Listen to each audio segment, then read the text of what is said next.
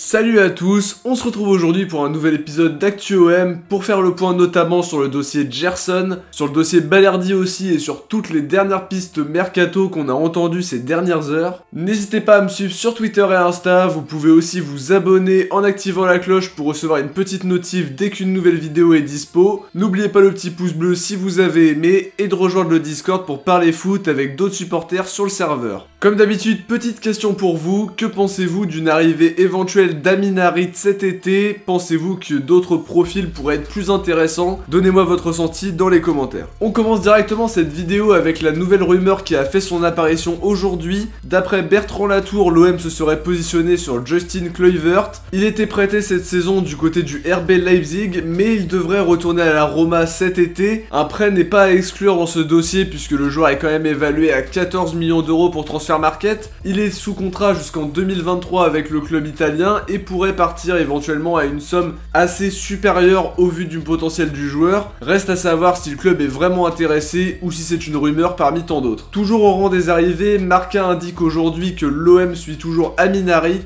Le joueur était déjà ciblé l'été dernier et plaît beaucoup aux supporters en général. Le joueur de Schalke est estimé à 12 millions d'euros par transfert market et a un contrat qui court jusqu'en 2024. Sur le dossier Balerdi, on m'a demandé des nouvelles dans les commentaires ces derniers jours. La Provence fait le point aujourd'hui en indiquant que l'OM et Dortmund négocient actuellement. La volonté du club c'est de garder le joueur et le joueur veut rester à l'OM. D'après les infos du quotidien, rien n'est fixé dans ce dossier. Un nouveau prêt et un transfert sont envisagés par l'OM qui veut conserver le défenseur argentin. Pour Alban Lafont, le journaliste Nicolo Chira indique que l'OM est toujours intéressé par le Nantais. Comme l'indiquait la Provence il y a déjà quelques jours sans que le dossier soit vraiment très avancé d'après récentes infos. Sur le dossier du gardien, la Voz des Asturias indique aujourd'hui que l'OM négocie activement avec le Sporting Riron pour recruter le gardien Christian Joel Sanchez. Le jeune gardien cubain de 21 ans pourrait être acheté pour une somme avoisinant les 2,4 millions d'euros. Il a pu disputer 6 matchs avec l'équipe pro et 13 matchs avec la réserve cette saison et aurait tapé dans l'œil de Pablo Longoria qui cherche un numéro 1 bis pour prendre la succession de Steve Mandanda. Autre info dans le sens des départs cette fois-ci, selon Tuto Mercato Web et en particulier son journaliste Marco Conterio, il y aurait un accord de principe entre Stroutman et le Genoa. D'après la source, les discussions entre l'OM et le Genoa sont actuellement en cours pour trouver un accord. Un transfert est envisagé tout comme un prêt avec option d'achat obligatoire. On peut aussi imaginer un accord entre l'OM et le joueur pour le libérer de son contrat et qu'il puisse s'engager librement avec le Genoa. En tout cas, un départ de Stroutman pourrait permettre à l'OM de baisser de façon significative sa masse salariale. Pour Amin Adli, le directeur sportif du TFC Damien Comoli a évoqué le dossier pour la dépêche du midi. Il a indiqué que le joueur n'a pas prolongé malgré plusieurs réunions prévues à ce sujet. Il a indiqué qu'il n'y avait aucune discussion avec d'autres clubs, alors qu'on aurait pu penser qu'il y aurait des discussions entre Marseille et Toulouse après l'accord de principe conclu avec l'attaquant toulousain.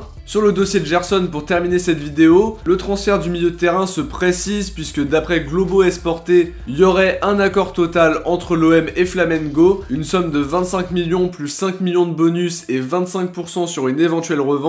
À Marseille, on évoquait une somme de 15 millions d'euros qui serait quand même plus crédible sur les finances de l'OM. Le joueur devrait être à la disposition de Flamengo qui veut compter sur lui pour compenser les absences dues à la Copa América. Une arrivée début juillet est possible et une officialisation proche n'est pas à exclure. Voilà pour les dernières infos concernant l'OM les amis, de notre côté on arrive déjà à la fin de cette vidéo, j'espère qu'elle vous a plu, si c'est le cas n'oubliez pas de liker, commenter, partager, on se retrouve très vite pour analyser l'actu du club, ciao, portez-vous bien et surtout allez l'OM.